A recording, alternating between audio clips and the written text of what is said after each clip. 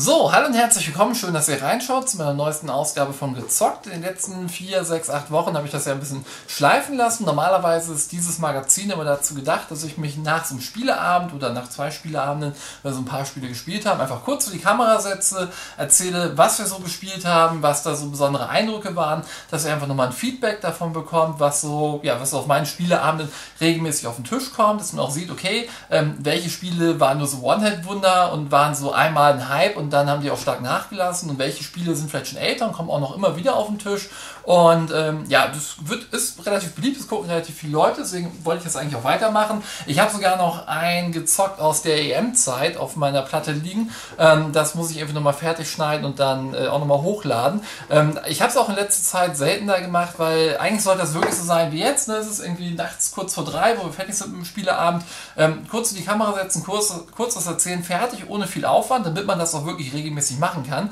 Und ich habe dann schon wieder tausend Schnitte gemacht, irgendwelche Einblendungen dazu und bla. Ähm, äh, das werde ich, glaube ich, auch einfach wieder so machen, dass ich mich da hinsetze. Und klar, manche Leute sagen, wäre cool, wenn du das Spiel mal kurz zeigen könntest. Wenn ich es hier habe, dann werde ich es halt auch kurz zeigen. Aber ich werde jetzt nicht mehr extra Einblendungen und sowas machen, weil dann ist das wieder so aufwendig, dass man es wieder schleifen lässt. Und äh, lange Rede, kurzer Sinn. Ich habe gestern und heute äh, Abend, Spieleabend mit Kollegen gemacht, die ja teilweise schon ganz gerne spielen, aber auch nicht so wirklich super spielerfahren sind. Ähm, gestern hat ein Kollege noch seine Freunde mitgebracht, die kannte halt so, hat gesagt, ja klar, spielt sie gerne viel Doppelkopf und ähm, Siedler kannte sie gar nicht, äh, Monopoly noch. Und das ist natürlich was, wo man mit dem Spielehintergrund, den ich und die meisten von euch haben, auch sagt, okay, das ist äh, nett, aber es gibt halt viel, viel mehr, viel tollere Sachen. Aber die meisten Menschen kennen es eben auch nicht. Ihr Freund meinte eben auch, ja, ich, der spielt auch alles mit, ist total äh, immer voll dabei. Und er meint auch, das ist immer cool, immer wenn er hier ist bei mir, ähm, äh, so viele unterschiedliche Spiele, wie er da kennenlernt. Man weiß gar nicht, dass es sowas gibt. Und ähm, das finde ich eben auch immer wieder schön, wenn Leute, die eben halt zu solchen Spieleabenden kommen, die sonst gar nicht viele Spiele kennen und gar nicht wissen, was es da so gibt und deswegen eben auch nicht viel spielen, sehen, hey, da gibt es so viele, so unterschiedliche coole Sachen. Das macht Spaß. Ähm, und die beiden haben auch so gewirkt, als hätten sie da voll Bock drauf, beim nächsten Spielabend wieder dabei zu sein.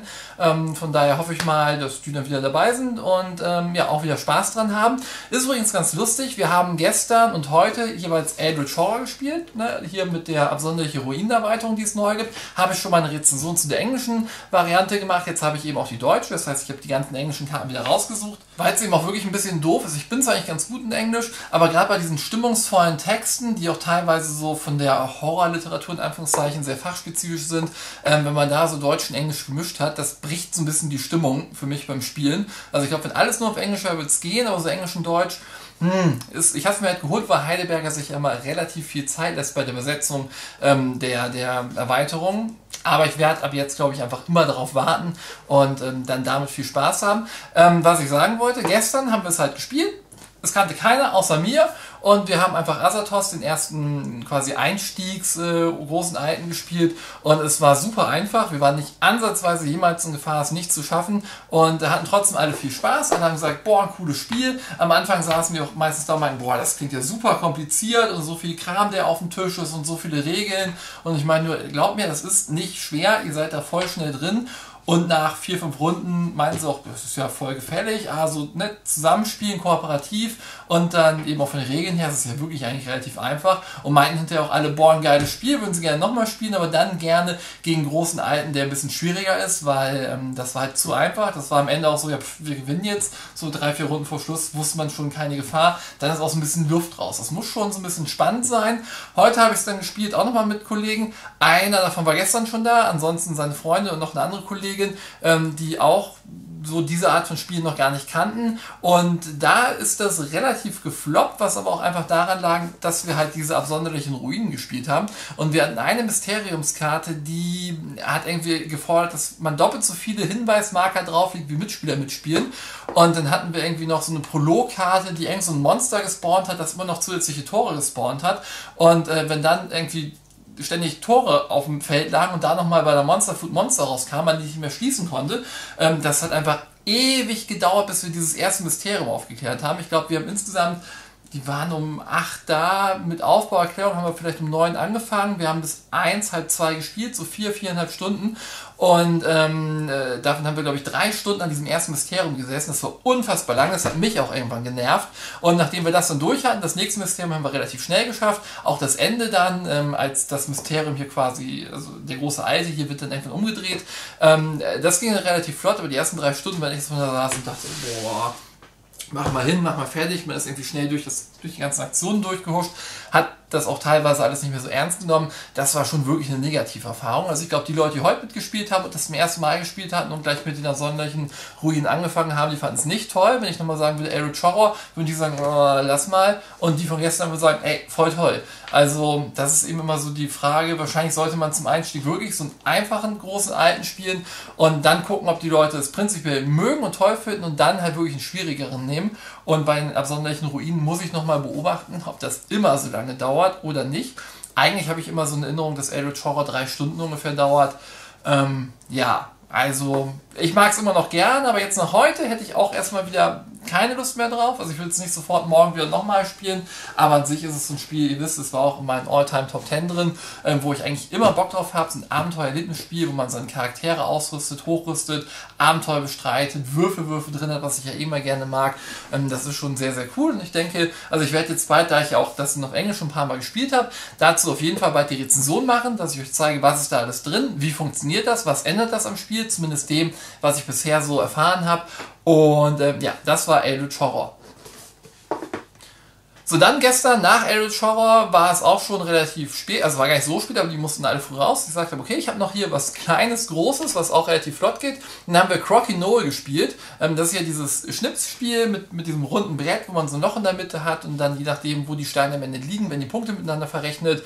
Ähm, äh, Karom ist ähnlich, aber eigentlich ganz anders, aber hat halt auch so ein Brett, wo man einen Stein drauf schnipst. Ähm, ich habe mir mein Brett in der Tischlerei machen lassen bei croquinol.de. Hat damals, glaube ich, 200 Euro Euro gekostet. War lange Zeit das teuerste Spiel, das ich hatte, aber eine Investition, wo ich immer sagen würde, es lohnt sich, weil das hat einfach einen super hohen Aufforderungscharakter, macht richtig viel Spaß und die gestern hatten auch sehr, sehr, sehr viel Spaß dran. Irgendwann waren die beiden aus dem gegnerischen Team so gut, dass die ständig in die Mitte geschossen haben und die 20er gemacht haben und wir das irgendwie nicht mehr so hingekriegt haben, vor allem ich nicht, wo eigentlich das Spiel eine Lernkurve hat, dass man sagen muss, wer schon oft gespielt hat, ist da meistens gut und besser drin. Wir haben da teilweise ganz schöne Klatschen bekommen, aber ein super Spiel, das bisher bei fast jedem richtig gut angekommen ist. Ich habe mal eine Freundin gehabt, die mochte es überhaupt nicht.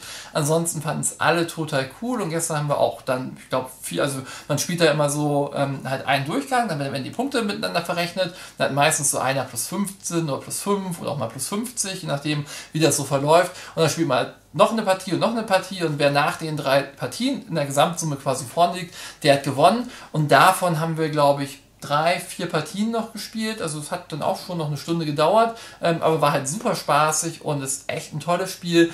Ähm, es gibt es ja auch in so einer Plastikversion, da würde ich euch absolut von abraten, das macht keinen Spaß. Also wenn euch das irgendwie interessiert, guckt euch da mal ein paar Videos an, das ist ein richtig, richtig tolles Spiel. Das ist auch definitiv ein Spiel, das werde ich mein ganzes Leben lang behalten, da ich, lege ich meine Hand für ins Feuer. Ähm, bei anderen Spielen, so Dominion war auch lange Zeit mein All-Time-Favorite, wo ich jetzt sagen würde, nee, ähm, äh, ist immer noch gut, aber man spielt es einfach nicht mehr. Ich glaube, Crocono werde ich auch in 20, 30 Jahren noch regelmäßig rausholen und spielen. Und äh, weil es auch einfach schnell ist, erklärt ist, schnell erklärt ist, einen hohen Aufforderungscharakter hat. Also richtig, richtig toll. Und da lohnt es sich, wirklich in ein gutes Brett zu investieren. Unter 100 Euro würde ich dafür nicht ausgeben. Ich habe in der Spieleburg dann auch Bretter gesehen für 150 die waren okay, wo ich immer noch sagen würde, mein Brett ist einfach noch deutlich toller und ähm, das also macht schon deutlich mehr Spaß darauf zu spielen. Wahrscheinlich wird es auf noch teureren Brettern noch mehr Spaß machen, aber das ist so eine Preisregion, die man dafür ausgeben sollte, die es aber auch absolut wert ist und wie gesagt, das ist auch so ein Ding, das kann man sich noch gerne mal zum Geburtstag oder zur Hochzeit oder so schenken lassen. Ich habe es mir damals zu Weihnachten selbst geschenkt. Ich habe mein Studienfach gewechselt nach vier Semestern, habe einfach nur meine ganzen alten Fachbücher verkauft, mir davon dann das Scrocky-Null-Brett gekauft. Und wie gesagt, das habe ich jetzt seit wann habe ich denn? Acht Jahre oder so und wie gesagt, habe es äh, richtig, richtig oft gespielt, holt es immer noch richtig, richtig gerne raus. Eins kann man leider nicht an die Wand hängen, deswegen ist es immer unterm Bett, aber da ist es eben auch gut lichtgeschützt, wird also lange seine Qualität hochhalten Und ähm, ja, also Crocky Noel, guckt euch da auch mal meine Rezension zu an. Die habe ich, glaube ich, damals noch für Spiellama gemacht. Da findet man die ähm, auch auf YouTube. Vielleicht mache ich selbst noch meine eigene, wobei, wie gesagt, da wird eigentlich schon alles erzählt. Aber das ist halt, wenn ihr irgendwie Geschicklichkeitsspiele mögt und auch Spiele mögt, die halt ein bisschen hochwertiger sind, dann guckt euch Crocky Noel mal an. Richtig, richtig gut. So, und dann haben wir jetzt Absacker noch Willkommen im Dungeon gespielt. Das ist ja so ein Push-Your-Luck-Spiel, ähm, wo eben so ein Held in der Mitte liegt und der hat ja ganz viel Ausrüstung und dann ähm, gibt es so einen Kartenstapel mit Monstern, die man in dieses Dungeon packen kann. Und immer wenn man dran ist, kann man sich entweder entscheiden, auszuscheiden, dass man sagt, ich will da nicht rein, ist mir zu heikel. Oder man zieht halt eine Monsterkarte, guckt die sich an und legt die entweder ins Dungeon oder man legt die raus und entfernt einen Gegenstand. Und da versucht man natürlich dann immer A zu wissen, was da so ungefähr für Karten drin sind, aber auch Gegenstände rauszunehmen, wo man dann weiß, okay, äh, meine Mitspieler, wenn die da jetzt reingehen mit den Gegenständen, wenn die fehlen, werden die das nicht schaffen.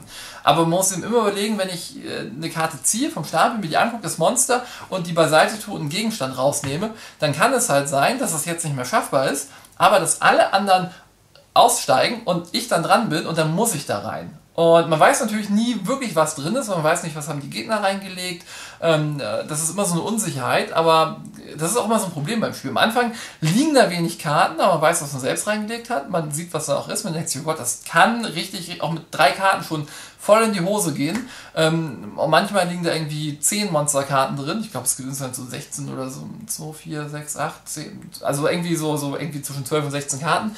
Und ähm, äh, manchmal ist das auch bei irgendwie 8 Karten noch ganz gut machbar. Und so diesen Punkt abzupassen, wann man rausgeht, wann man drin bleibt, ist immer ein bisschen schwierig. Man kann dieses Spiel auch gewinnen, ohne überhaupt jemals im Dungeon gewesen zu sein. Weil wenn man reingeht, kann man es halt schaffen, dann kriegt man eine Goldmedaille. Wenn man die zweite Goldmedaille hat, hat man gewonnen. Oder man hat halt keine Lebenspunkte mehr und ist quasi tot. Dann verliert man einen Lebenspunkt. Wenn man seinen zweiten Lebenspunkt verliert, hat man eben komplett verloren, ist komplett raus. Und ähm, ja, wenn da sich Leute halt immer überschätzen und dann doch reingehen, obwohl es eigentlich unschaffbar ist, dann ist es auch schon oft vorgekommen, dass Leute dieses Spiel gespielt haben, die nicht einmal mit diesem Helden in der Mitte ins Dungeon gegangen sind. Das passiert halt. Da muss man eben auch immer clever entscheiden, wann man rausgeht, wann nicht. Ist also ein Push-Your-Luck-Spiel, das eben nicht mit Würfeln ist, wie es ja zum Beispiel wie Can't Stop oder Zombie-Würfel oder Schweinerei ist, sondern mit dieser Kartenmechanik, mit diesem so ein bisschen auch Blöffen und, und äh, so ein bisschen Pokern. Äh, was kann man noch machen? Und gefällt mir richtig gut. Das soll ja jetzt auch, also hier sind vier verschiedene Charaktere bei. Hier sind Ritter, ein Zauberer, ähm, Schurke und noch irgendwas. Und ähm, Willkommen im Dungeon heißt es ja. Ähm, jetzt soll Willkommen zurück im Dungeon, ich glaube, schon zu Essen rauskommen, wo dann wahrscheinlich einfach noch ein paar neue Charaktere drin sind. Vielleicht noch eine neue Mechanik drin, da bin ich mal gespannt drauf. Aber das werde ich mir auf jeden Fall auch holen. Und wenn ihr Push Your Luck Spiele mögt, wenn ihr das Fantasy-Thema mögt, dann guckt euch Willkommen im Dungeon mal an. Habe ich auch schon eine Rezension zu gemacht. Auch ein richtig, richtig tolles Spiel. So, wo wir gerade bei Push Your Luck spielen waren, dann haben wir noch Zombie Dice gespielt. Eigentlich auch nur, wenn irgendwie noch ein, zwei Leute auf dem Klo waren. Ich gesagt habe, hey, komm, bis die wieder da sind, haben wir das Spiel fertig gespielt. Geht ja sehr, sehr schnell, hat nicht ganz geklappt, aber wir haben dann halt noch eine schnelle Runde gespielt fanden auch wieder alle unterhaltsam. Wie gesagt, eigentlich ein super, super stumpfes Spiel. Wir spielen Zombies. Man zieht immer drei Würfel aus diesem ähm, Becher. Der zeigt, die Würfel zeigen eben sowohl Füße, die sind egal, die würfeln einfach nochmal neu. Hirne sind gut. Wer zuerst 13 Hirne gewürfelt hat, gewinnt. Und Shotguns, doof. Wer drei Shotguns gewürfelt hat, der ist halt raus. Und man nimmt halt diese drei Würfel, würfelt, entscheidet dann, ob man weitermachen möchte oder nicht. Wenn man weitermachen möchte, muss man drei Würfel ziehen, muss man wieder würfeln und ähm, freut sich dann, wenn man viele Hirne gewürfelt hat. Wenn man dann halt Shotguns gewürfelt hat, hofft man, dass man unter drei gewürfelt hat, weil sonst ist man eben raus. Äh, und dann kann man eben wieder entscheiden, weitermachen, aufhören. Also wirklich so ein bisschen Push your Luck. Wenn da halt schon zwei Shotguns liegen, dann macht man eigentlich nicht weiter. Aber wenn vielleicht irgendjemand anders schon elf Hirne gesammelt hat und in der nächsten Runde gewinnen kann, ich habe erst vier, dann mache ich natürlich weiter und würfe dann vielleicht sieben, acht, neun Hirn, denke mir, nee, ich muss noch weitermachen, ich muss noch mehr vorlegen, auch wenn es total unwahrscheinlich ist und schafft es dann doch nicht, versagt und dann ist der, der quasi kurz zum Gewinnen ist, nimmt die Würfel, zieht da zwei rote und einen gelben raus, würfelt drei Shotguns und man denkt sich, hätte ich mal die sieben genommen, dann wäre ich jetzt dran und könnte in der nächsten Runde selber gut vorlegen. Ähm, also wenn ihr so Spiele wie Schweinerei oder Can't Stop oder alles so, so, so Zockerspiele mögt, dann ist Zombiewürfel echt gut, vor allem weil das ist halt so klein handlich, das könnt ihr im Schwimmbad spielen, das könnt ihr im Zug spielen, das könnt ihr im Flugzeug spielen, das könnt ihr überall spielen, überall mit hinnehmen und ähm, auch mit beliebig großen Runden. Es sollten nicht zu viele Leute sein, aber es geht schon gut zu zweit, zu dritt, zu vier, zu fünf, zu sechs, überhaupt kein Problem. Äh, bei meinen Leuten kommt das auch richtig, richtig gut an. Also gerade bei meinen Kollegen, die spielen das sehr, sehr, sehr gerne. Ich mag es auch immer noch richtig gerne. Das ist auch ein Spiel. Ähm, da wird es vielleicht irgendwann mal was geben, was es ablöst. Aber ähm, so stumpf und so genial sind wirklich wenig Spiele. Und ähm, wenn ihr das noch nicht kennt und ihr Push-Luck-Spiele mögt, dann guckt euch das mal an. So, und dann das Spiel, von dem ich ja gesagt habe, in dem Jahr, wo es auf Deutsch erschienen ist, hätte es von mir aus das Kinderspiel des Jahres werden können, es hätte das Familienspiel werden können und es hätte das Kennerspiel des Jahres werden können, weil es einfach alle anspricht. Crazy Coconuts. Ich muss mal aufpassen, dass hier nicht alles rausrutscht. Ähm, ihr müsst im Prinzip nur hinten auf die, also wenn ihr es nicht kennt, hinten auf die Anleitung, also auf die Rückseite gucken und dann habt ihr alle Regeln dieses Spiels. Ne? Man nimmt halt so eine Nuss, legt ihr diesen Plastikaffen auf den Arm, schnippst den Arm, also zieht den Arm dann mit dem Finger runter, dann schnellt er hoch, die Nuss fliegt in hohem Bogen, dann in einen dieser Becher da in der Mitte und den stellt man dann vor sich ab. Wer zuerst eine Pyramide aus sechs Bechern vor sich hat, hat gewonnen. Wenn alle Nüsse verschossen sind, auch die daneben gegangen sind, die nimmt man halt immer wieder, die gehören keinem, aber wenn wirklich alle irgendwann in Bechern sind äh, und keiner diese Pyramide hat, dann gewinnt einfach der mit den meisten Nüssen in den Bechern vor sich und das war's dann. Man kann auch, wenn ein Mitspieler schon irgendwie drei, vier Becher hat, also soweit man Becher vor sich stehen hat, kann man auch da reinschießen, dem die wieder wegschießen und stellt die dann bei sich hin, sodass natürlich, wenn einer fünf hat, dann gehen irgendwie alle auf den, bis dann irgendwie anders wie die Mehrheit hat. Wenn man so einen roten Becher trifft, darf man nochmal. Richtig, richtig, richtig gutes Spiel. Macht auch immer wieder Spaß, wo ich immer wieder gerne rauskommt, immer wieder gerne an. Ähm, kann man auch schon, das ist ab fünf Jahren, ich weiß ob Vierjährige das schon können, aber das ist halt so ein Spiel, so ein Kinderspiel, die halt super geil sind, weil ähm, die machen den Kindern Spaß und wenn die Erwachsenen da mitspielen müssen, sollen, wollen, dann haben die eben auch richtig Spaß daran. Das können auch, also ich weiß nicht, wie gut kleine Kinder sind, ich habe es noch nie mit Fünfjährigen gespielt, aber ähm, also wenn die das ein bisschen wissen, wie es geht und das auch so ein bisschen können, dann haben da auch alle ungefähr gleichwertig Spaß dran, weil die Dinger fliegen so komisch, sind aus Gummi, hüpfen manchmal wieder raus. Ähm, da kann man, glaube ich, nicht so richtig, richtig gut drin sein, zumindest nicht, wenn man es irgendwie nur äh, alle paar Wochen mal spielt. Und ja, auch eines meiner absoluten Lieblingsspiele, ein absoluter Favorit. Und solche Spiele mag ich halt auch total gerne. Ne? Einfach, total banal, aber einfach spaßig. Man setzt sich hin, spielt, hat Spaß. Voll toll. Und ja, das war das gezockt für heute Nacht. Wie gesagt, ähm, ne, ich bin eigentlich schon total übermüdet. Einfach nur kurz vor die Kamera gesetzt, kurz erzählt, was ich so gespielt habe. Äh, falls ihr irgendwas von diesen Spielen kennt, Lasst mir auch gerne einen Kommentar dazu da, wie ihr das findet, wie es bei euch in der Gruppe angekommen ist, ähm, ob es euch vielleicht irgendwie interessiert, ob ihr es euch vielleicht irgendwie auch auf irgendeine Empfehlung geholt habt. Ähm, ich freue mich immer sehr über Feedback. Und ja, das war's von mir. Ich hoffe, dass dieses Gezockt-Format jetzt wieder ein bisschen regelmäßiger kommt. Wie gesagt, ich werde auch irgendwann dieses Gezockt aus dem Sommer nochmal hochladen. Da habe ich noch Deutschland-Trikot an und äh, bin noch ohne Bart und äh, alles. Ähm, aber da waren auch ein paar sehr, sehr, sehr coole Spiele bei. Ich habe mir das heute nochmal angeguckt. Ich dachte, das wäre schon fast fertig, aber es geht dann doch irgendwie 20, 24 Minuten. Ähm, wie gesagt, gucke ich mir nochmal an, da ich dann sicher die Tage auch irgendwann nochmal hoch. Und ja, das war's für heute von mir. Äh, wenn ihr den Kanal noch nicht abonniert habt, abonniert ihn gerne, gebt äh, dem Video gerne einen Daumen nach oben. Ähm, ja, und dann sehen wir uns bald in einer meiner anderen Rezensionen wieder, in einem Let's Play, in einem Empfehlungsvideo, in einem nächsten gezockt, man wird es sehen. Und vielen Dank für eure Aufmerksamkeit. Ich sage bis bald und tschüss.